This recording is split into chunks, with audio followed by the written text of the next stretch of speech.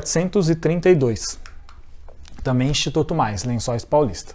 Assinale a alternativa que apresenta um método radiográfico de localização indicado para dentes não irrompidos, que consiste no princípio da dupla incidência, ou seja, é realizada uma radiografia periapical e uma oclusal, cujas incidências são perpendiculares entre si. Então essa última frase é determinante para a, a classificação entre Miller-Winter e Donovan.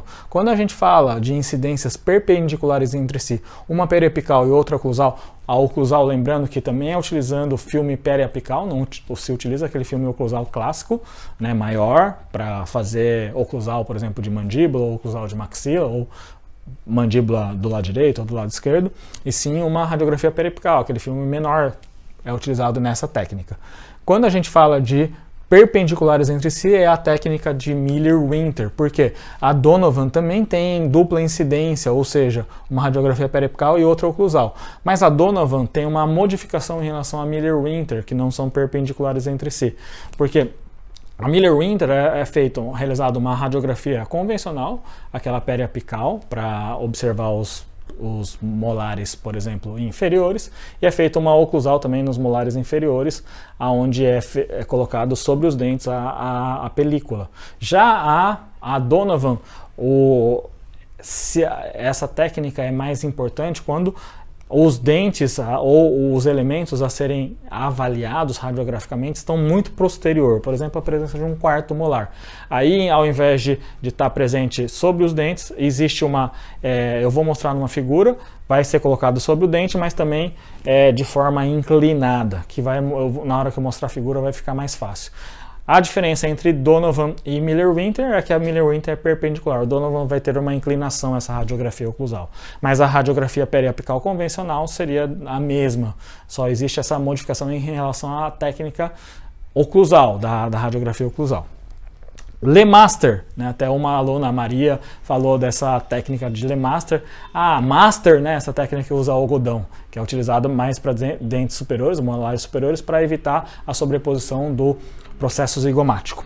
E a Parma é uma que é, ao invés de deixar o filme de forma horizontal, faz uma inclinação diferente para que ela pegue principalmente dentes, raízes de dentes mesoangulados. E aí a Parma é utilizada na, principalmente em dentes inferiores ou terceiros molares mesoangulados para pegar aquela raiz que fica localizada mais para posterior.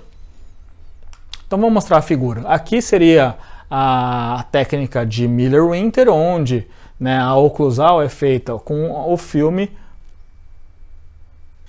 é, localizado na região oclusal dos dentes molares inferiores, e aí é essa incidência é feita de uma forma normal, assim, e perpendicular porque a, o, o filme naquele o filme convencional periapical é colocado de forma horizontal, né? É, com o seu maior eixo né, relacionado é, na, na região no sentido é, e já o, o a, essa outra incidência oclusal é para ver principalmente essa questão vestíbulo em relação à distância, principalmente vestíbulo lingual, para ver essa, essa relação. Então aqui uma a incidência periapical convencional e a oclusal em que foi colocado o filme na região oclusal dos dentes. Já a Donovan existe essa inclinação, porque a raiz desse dente, no caso, está mais presente mais para posterior. E aí, se a gente fizesse somente a incidência do Miller-Winter, ela cortaria essa, esse ápice da raiz. Como fez essa inclinação, o que, que acontece? Na hora de, da incidência, a gente consegue observar essa região que está mais para a região posterior. Então, por exemplo, um quarto molar também seria de grande valia a utilização desse, dessa técnica de Donovan.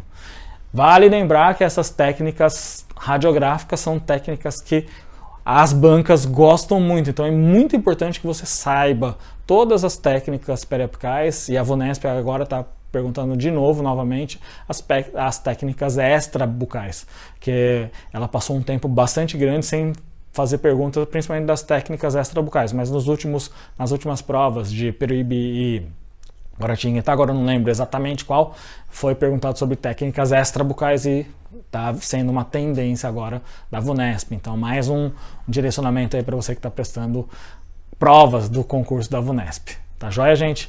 Então vai lá, se você tem quer, por exemplo, o, o aquele calendário vacinal, manda o seu e-mail aí que a gente vai, vai te enviar por e-mail.